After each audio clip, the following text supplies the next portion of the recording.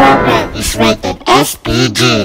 It contains scenes with themes, language, violence, sex, horror, or drugs, which may not be suitable for children. Strong parental guidance is advised.